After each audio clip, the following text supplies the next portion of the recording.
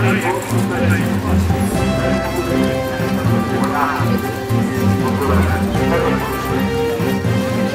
powiedzieć. No, Rafał, babcia, tutaj mam dla Ciebie przesyłkę, którą niosę już chyba trzeci kilometr. Ręka mi jeszcze je wzięli, to na tym dniu.